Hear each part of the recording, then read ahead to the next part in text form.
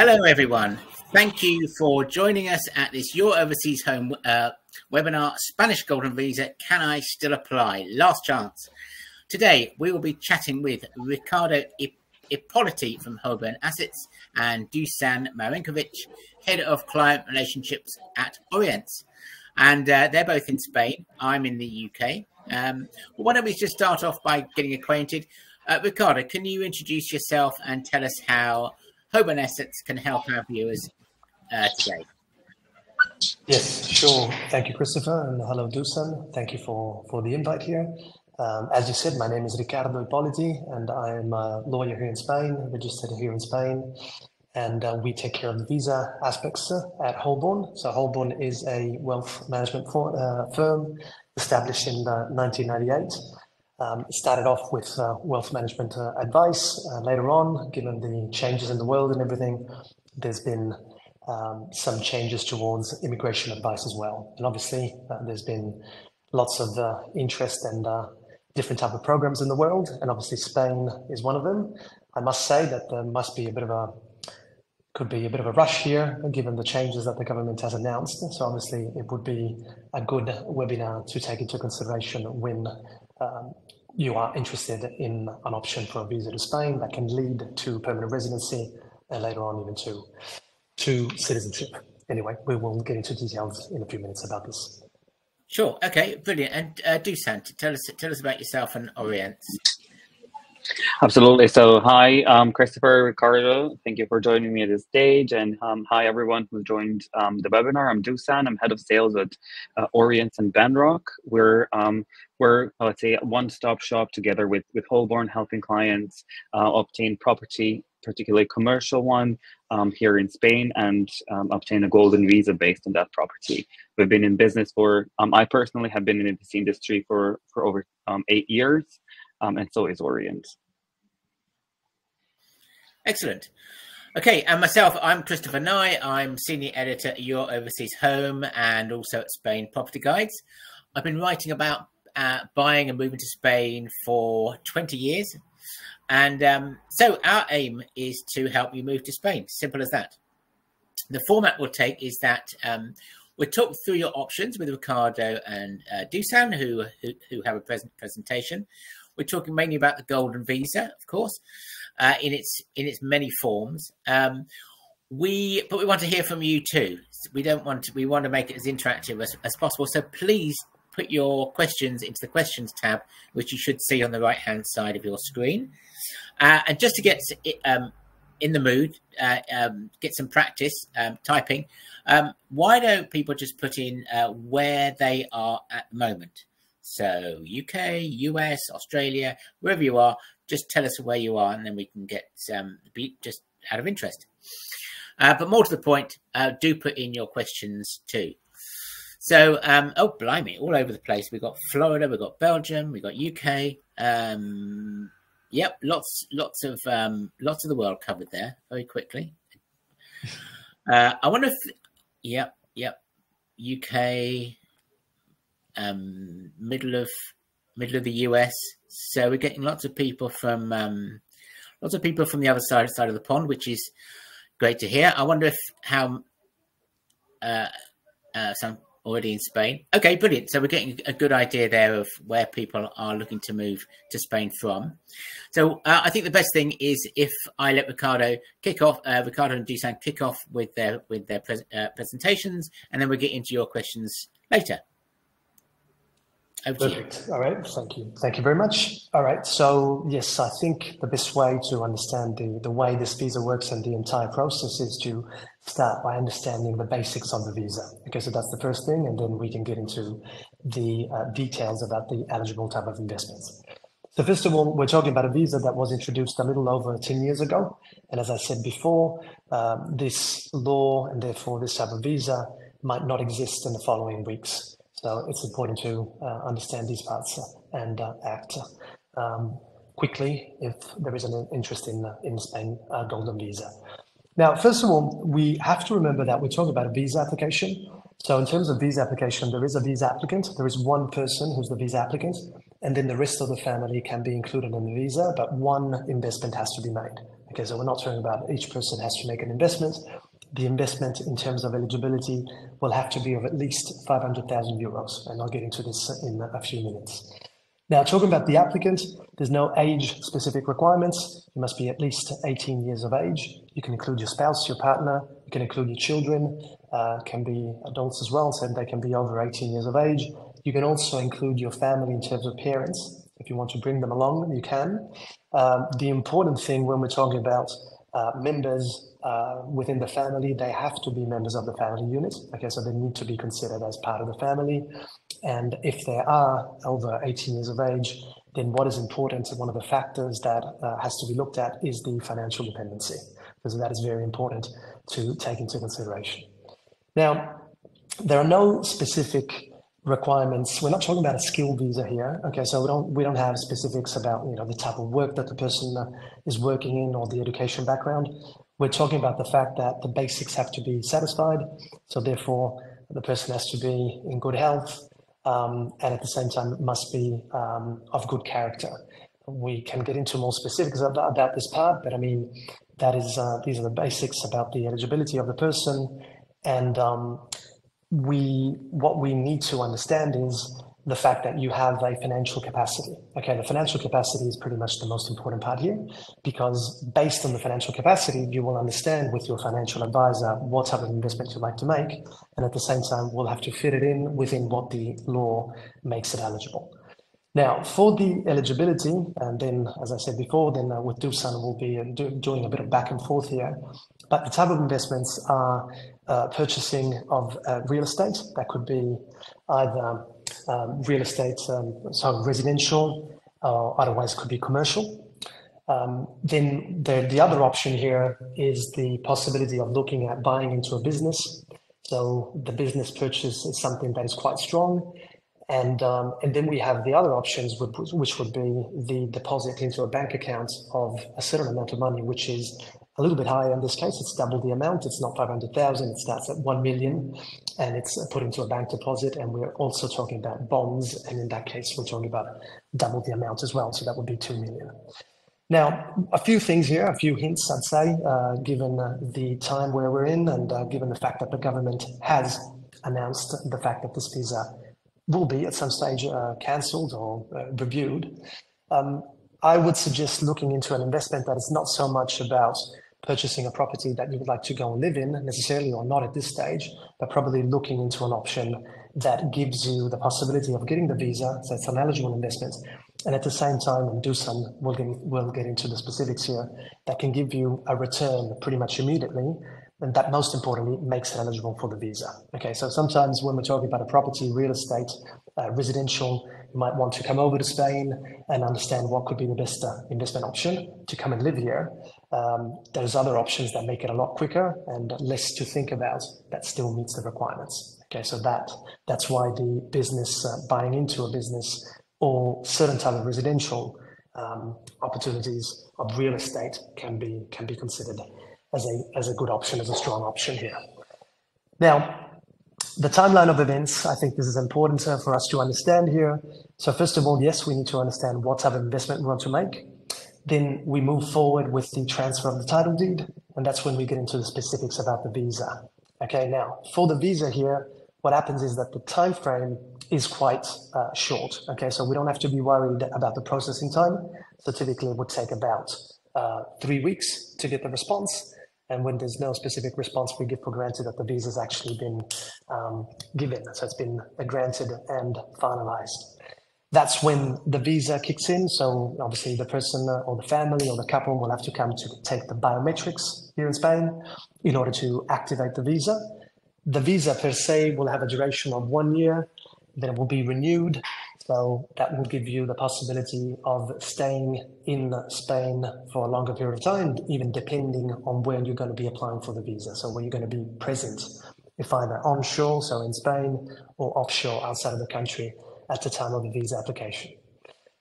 Once the visa is given to you, um, you've got the possibility of coming over to Spain. You can stay in Spain. You can work here. You've got access to uh, the education system and um, you you pretty much can start living a normal life here in Spain without any problems. Um, it doesn't change too much in terms of legal status. I think this is important to understand. The timeline here is that the visa initially gives you um, a residency that is subject to the fact that you must keep the investment active. Okay, that's the most important thing here. We need, to make sure that the investment that is made is an investment that uh, keeps remaining active. Otherwise, obviously, there's no reason for the visa to remain existing here.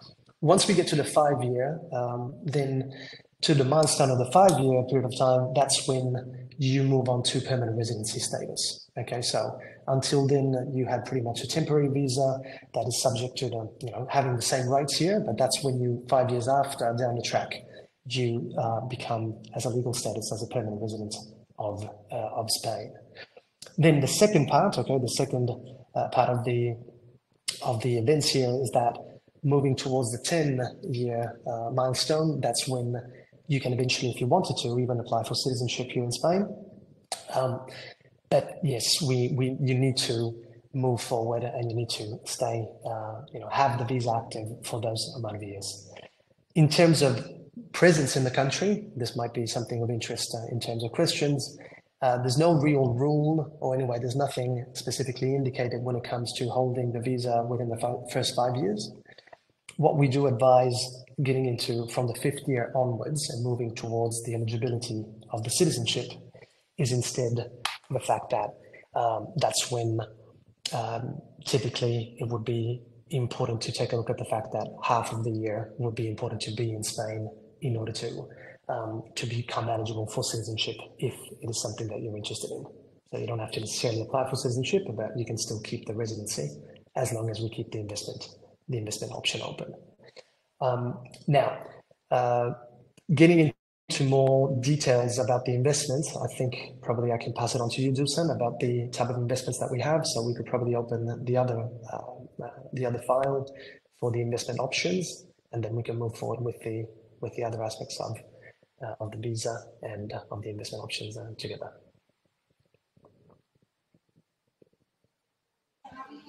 Absolutely, thank you very much, Riccardo, for um, for your for your um, explanation about the golden visa.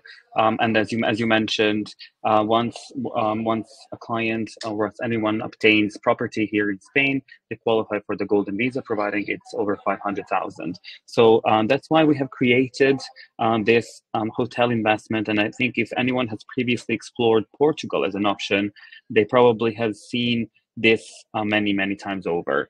Um, I w- I won't take too much time to explain um, to explain um, the, the, investment. I'll just show the financials um, and explain that um, Benrock has commercial uh, uh, assets and hotel available in Spain, uh, in mostly in um, Madrid and Barcelona. this particular asset we're talking about now is a hotel in Madrid. It's uh, located in um, Canillejas, Canillejas district, uh, which is which is basically just between the airport and um, and the and the center, the Gran Via. Um, this is what you're looking at now are the renderings of the hotel, uh, what it would look like once it's completed next year. Um, this is the district that I said Canillejas. Um, it's just between um, uh, um, just between airport and, and the city center. It's currently located in, it's considered like a smart hub of Madrid. Um, and I'm sorry if I'm going too fast. I just want to go to this um, slide of um, this particular slide. So the investment, as you can see, is 500,000 euros. Um, and we guarantee 3% yield for the 10 years uh, of operations. Um, so instead of paying annually 3%, which is 15,000 euros, we pay all, all of it upfront. So all 10 years are being paid upfront, which means all 150,000 euros um, of, of um, worth of returns are being paid upfront. Another benefit of investing into this hotel is that the VAT um, has to be has to be paid, but it's paid by us, by the developer, um, and the VAT has to be paid because it's a brand new asset. Uh, whenever there's a brand new asset, VAT of 21% has to be paid. So, um, and that's another benefit of this is that VAT is covered by us, the developer. In addition to all of it, um, there is a guaranteed buyback after 10 years of operations of the hotel, which is at 500,000 euros. So to summarize all of this is um, a client invests 500,000 euros. Contractually, two weeks after signing the title deed, we provide return of an investment of 150,000 euros, and 10 years down the line, a guaranteed buyback of 500,000 euros. Another benefit of, of uh, investing into this particular property or this asset is that the returns are guaranteed by the developer or us, uh, whereas the buyback is guaranteed by the hotel operator. Um, the hotel operator of this particular hotel is a Soho Boutique Group. Um, for those who have been to Spain or maybe stayed in their hotels, it's a well-known hotel operator group in in Spain. They um, have over um, in their ownership over 40 hotels all around um, all around Spain. Uh, and that brings um, the next, um, the last benefit is that um, for all um, interested client, for all clients that invest into, or all investors that invest into this um, asset, they will provide seven-day complimentary stay in any Soho boutique hotel in Spain. Um, and obviously, this is uh, our track record collaborating with Soho Boutique. This is um, the Soho Boutique Hotel in Torremolinos. There's um, there's one in Sevilla that's been operational since 2019. Um, there's several in Madrid, one operational since 2019. Um, the Cordoba 2021. Um, another one, uh, in, another one in, in Madrid, oh, it's being opened in 2024. Um, this currently is again another one in Albarracin, Madrid, in construction. Um, we're also constructing San Sebastian and Malaga. So, um, I just want to ask, ask, ask a question. So, with these kind of investments, um, uh, we don't have to worry about the residential part of of the golden visa because you can even if that is taken away by the by the government, uh, the this this kind of investment will still be allowed. Is that correct? That depends. That depends on what exactly does government change. At the moment, we're not. Um, the the the changes are not made public yet. What uh, what okay. we're we're hoping, and, or or let's say what the track record in the industry was is that they first remove residential from from a qualifying asset um, and leave commercial. However, that might not be true in this case.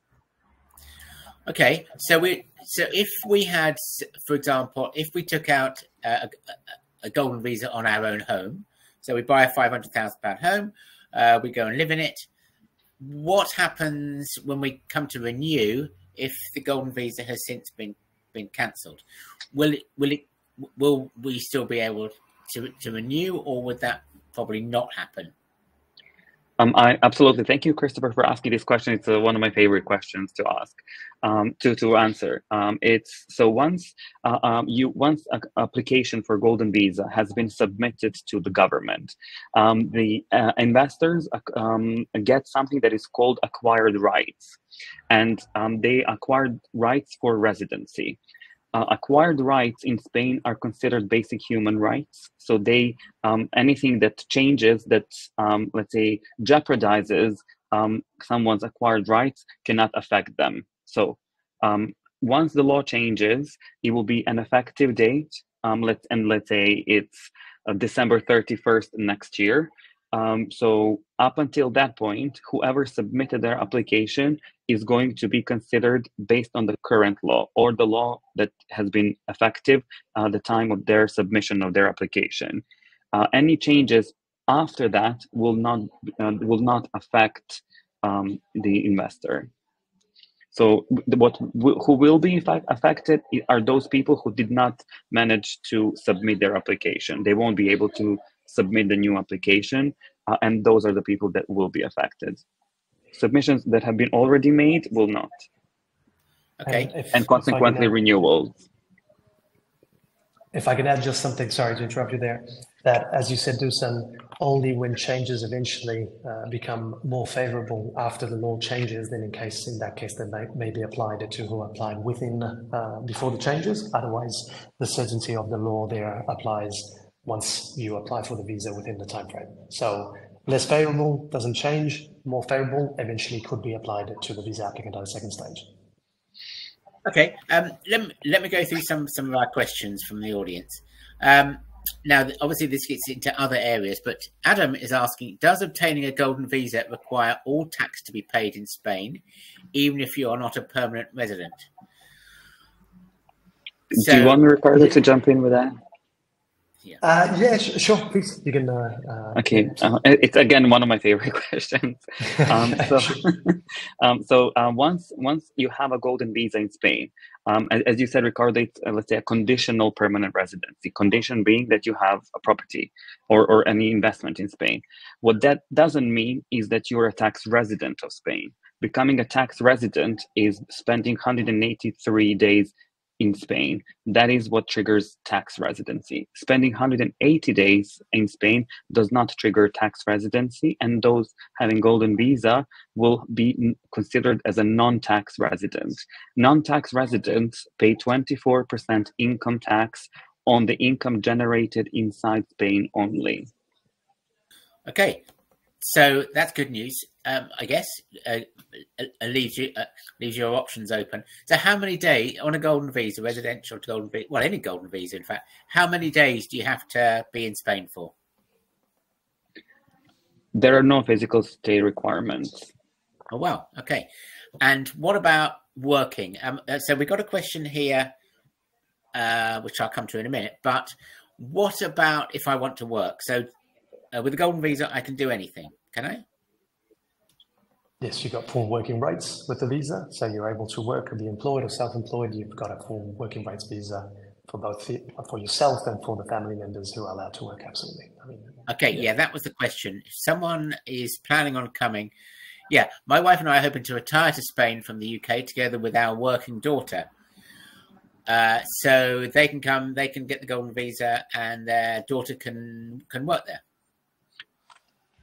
Correct. Yes, probably. Sorry. Yeah.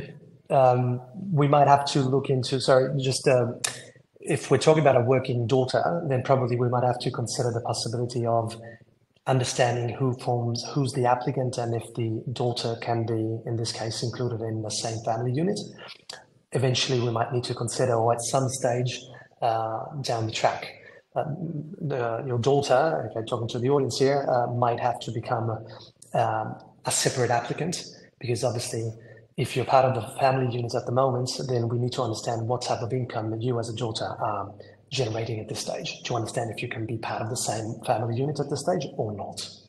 Sure. Okay. And uh, um, uh, the same questioner has asked, has mentioned that he's buying two properties that together add up to 500,000 euros. Is that a, that's not a problem? It can be several properties, can it? No. Um, I, I, can um, I can take also this one. Um, absolutely, it can be commercial, residential, and a parking space. It can be seven parking spaces. It can be any asset that is up to five hundred thousand euros. However, as Riccardo and I keep mentioning, the law is changing and is changing rapidly, more rapidly than than we have expected or hoped for. So um, acquiring residential property or, or, or parking space takes a little uh, more time than acquiring commercial assets. Um, simply because it has the the residential requires um, client or investor to go two times uh, through the due diligence process that is quite lengthy, whereas commercial is only once. Um, and selecting uh, selecting residential property takes longer time because people want to you know everyone wants to select their own asset or their own apartment whereas commercial is quite easier to select. It's less emotional. Yeah no absolutely i can i can appreciate that. Uh, okay so in terms of those who do want to buy residential property a home how basically how, how long have they got? If you're a betting man how, how soon would you say they have to get get over to Spain and find that property? I would say tomorrow. Maybe Riccardo is more optimistic. uh, okay, yeah, that's. You can say till exactly. Sorry. Okay, that's interesting. Right, um, more uh, more questions. Are there any medical insurance requirements? Yes, you must have a health insurance uh, in order to um, to be eligible for, for the visa, and then you can still access the uh, system here in Spain. But it is important to one of the requirements when we go ahead with the preparation of the application is to is to have a private health insurance at the time of application. Okay. Now, um, for British people, uh, we are not used to getting insurance, and our health doesn't doesn't doesn't really affect much. But suppose, for example, you're recovering from breast cancer, or you've got half a dozen pre-existing conditions. Is that does this often become a problem with getting the medical insurance and, and hence the visa? I would pass on that to do to you, Dusan, please, uh, for that. Yeah, yeah, I'll I'll, uh, I'll happily answer that. So um, I've had several different.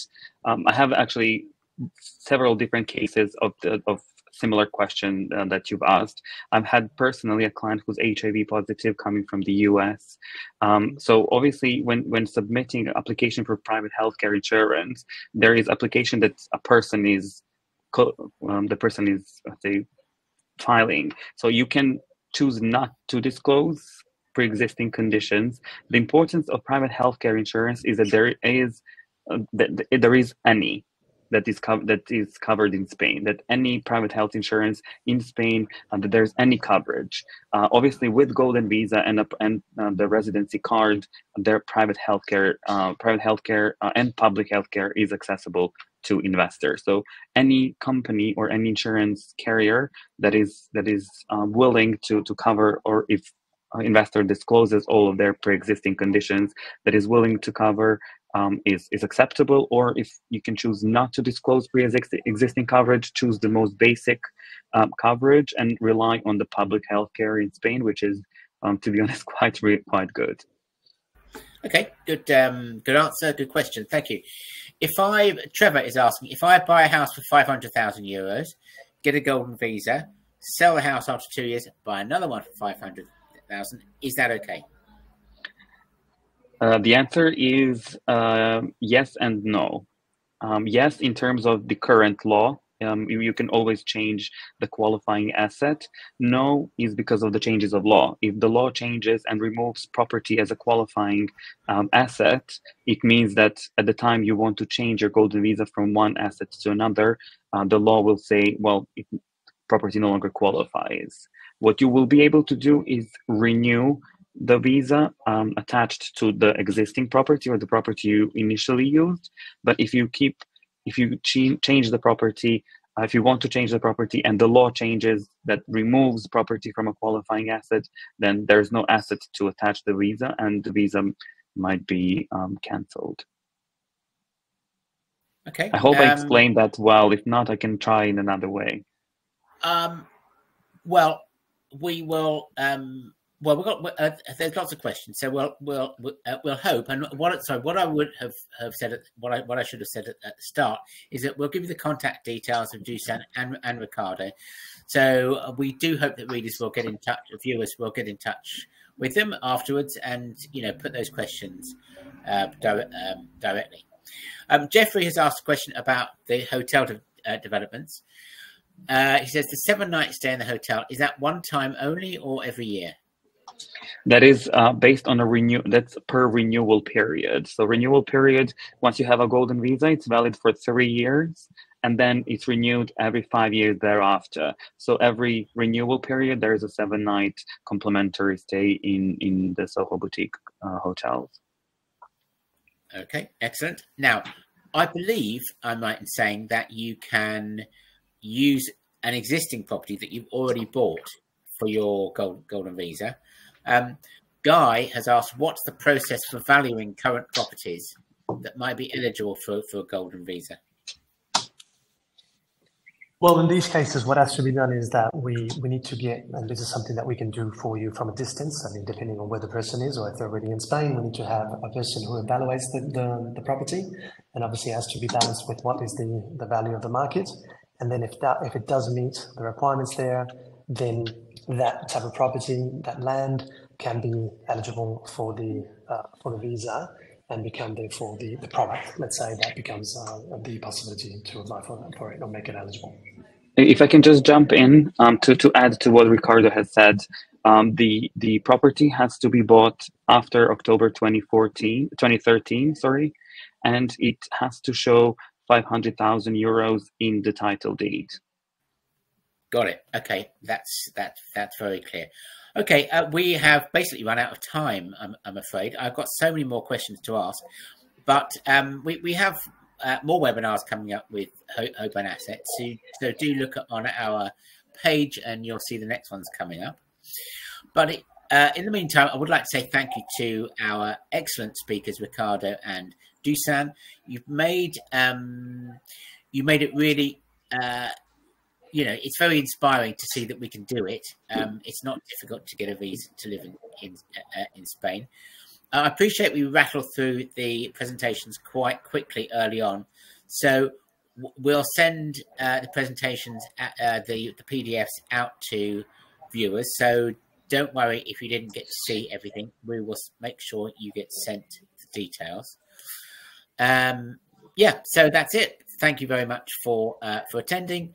Thank you very much to Dusan and, and, uh, and Riccardo, and good luck in your uh, property search and search for a new life in Spain. Thank you very much.